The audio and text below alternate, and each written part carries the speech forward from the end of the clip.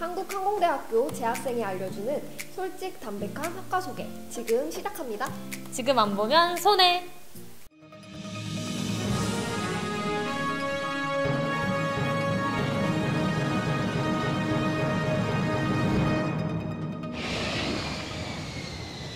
네, 저희 한국항공대학교 항공운항학과는 국내 최초, 최고의 민간 조종사 양성 기관입니다.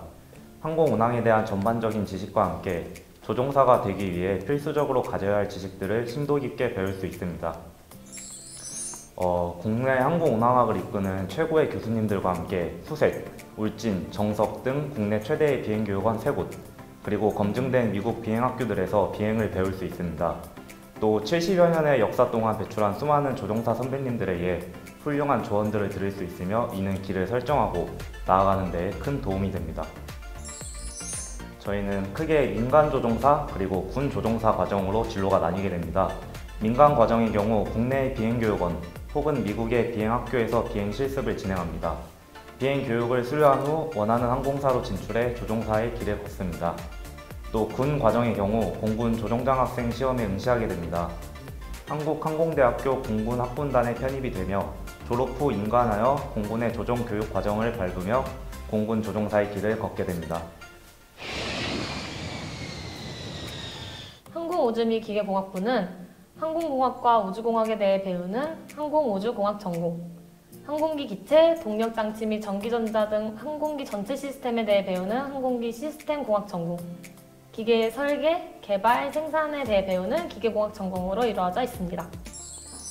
저희 학과는 항공우주와 항공기 시스템 관련 엔지니어로 성장할 수 있는 과목들이 많이 개설되어 있습니다. 또한 무인기, 자율주행, 항공정비 시스템, 조종, 항공 경영 등 다양한 융합 전공 프로그램 등이 있습니다.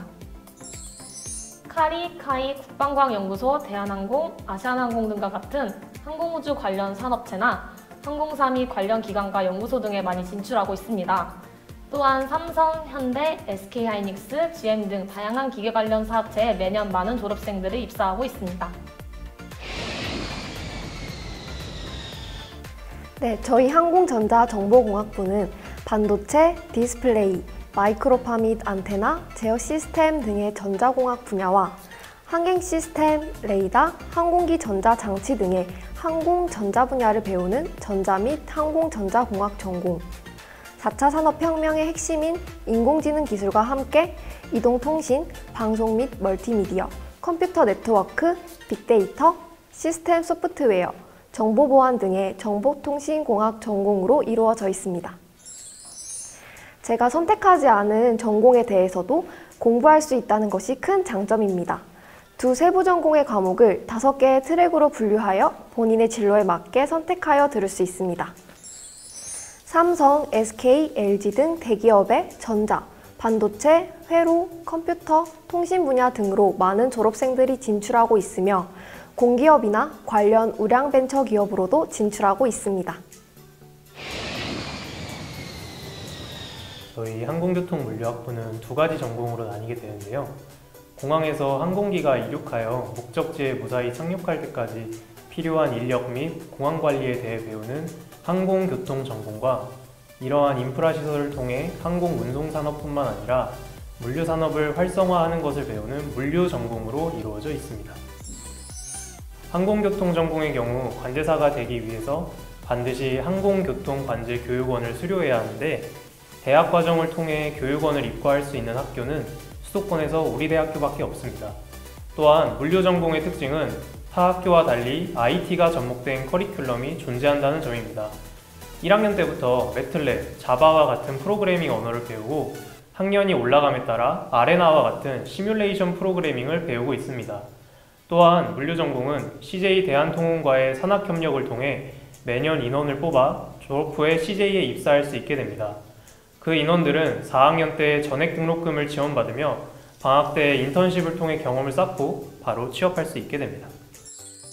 우선 항공교통 전공은 관제사와 운항관리사 또는 공항공사의 교통, 일반 직렬 혹은 기타 항공사에 취업하는 경우가 많고요. 물류 전공의 경우는 아까 말씀드렸다시피 CJ 대한통운 같은 물류 전문 대기업, 대기업 내 물류 구매 부서 또는 도로공사, 철도공사, 전문 공무원 등으로 취업하는 경우가 많습니다. 네, 저희 학과의 교육 과정은 크게 두 가지 트랙으로 나눠지게 되는데요. 항공 우주 및 자동차 부품 신소재 트랙과 전자 반도체, 에너지 부품 신소재 트랙으로 나누어서 휴대전화 액정 등에 사용되는 디스플레이 재료를 공부하기도 하고 재료의 표면을 집중적으로 공부하는 박막공학, 그리고 철강 재료, 반도체 공학, 열역학 등을 배우게 됩니다. 네, 일단 저희 학교는 교수님들께서 실제로 항공 개발과 항공기 제작 혹은 대기업 연구실에서 근무를 하신 분이 많아서 항공기 기체 부품, 소재 관련 공부를 할 때나 취업을 준비할 때 많은 도움을 받을 수 있습니다. 아무래도 타 학교의 재료, 신소재 공학 등의 학과에 비해 항공이라는 전문적인 분야의 재료를 다루다 보니까 조금 더 색다르고 더 전문적인 공부를 접할 수 있는다는 점이 매력인 것 같아요. 아, 항공뿐만 아니라 다양한 소재를 배우기 때문에 반도체, 디스플레이와 구조형 재료 등 재료가 적용될 수 있는 여러 학문에서 길을 선택할 수 있는 것도 장점이라 생각합니다.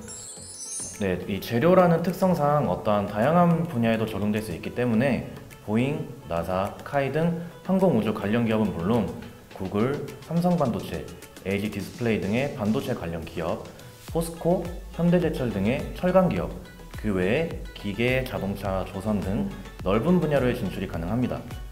그리고 최근에는 삼성 디스플레이와 LG 디스플레이 쪽으로 많이 취업을 하고 있는 것 같습니다.